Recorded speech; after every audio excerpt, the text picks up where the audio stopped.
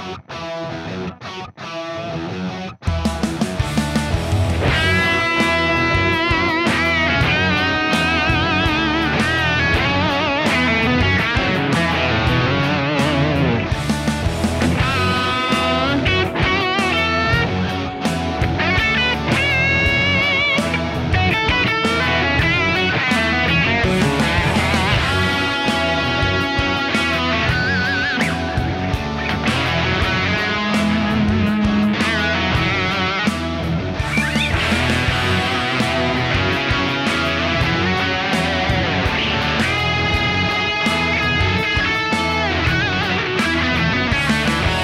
everyone, this is Kenny and today I would like to talk about the differences between the ID Core V3 and the Silverline.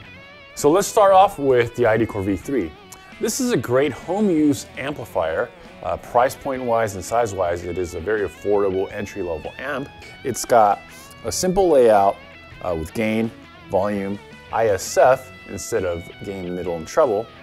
And it's got tons of effects and six different voices.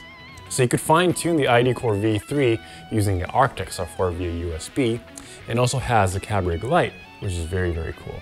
This has two wide range speakers instead of guitar speakers, so this is great for music playback. This also has a line in and streaming out, which allows you to record high quality guitar tones straight into your smartphone and also stream high quality guitar tones straight from your smartphone. So having two speakers allows you to enjoy true wide stereo effects.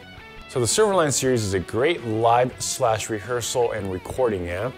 It has a 12 inch Celestion V-type speakers, also has six voices and six tube preamp emulations that allows you to really get that tube-like feel and response under your fingers. Also via USB, you can control this via Architect software. It does not have CabRig, but it does have a cab simulation. So both ID Core V3 and Silverline have 12 effects including reverb, delay, and modulations. And as far as EQ goes, the ID Core V3 on the front panel, you can only control the ISF control, but on the Silverline, you can control the bass, treble, mids, and also the ISF. Also, a great feature that I personally like is the USB recording out that allows you to record directly into your computer via USB and enjoy a silent recording environment. So in conclusion, which one should I get? Both, I'd say, because this is a great home use amp. You could enjoy listening to music, you could enjoy practicing, you could enjoy just using this as like a, a quick recording software or amp, and you could use a servo Silverline to take it on the road, use it on stage, use it on rehearsals. For more information, please visit blackstaramps.com. Thanks for watching. See ya.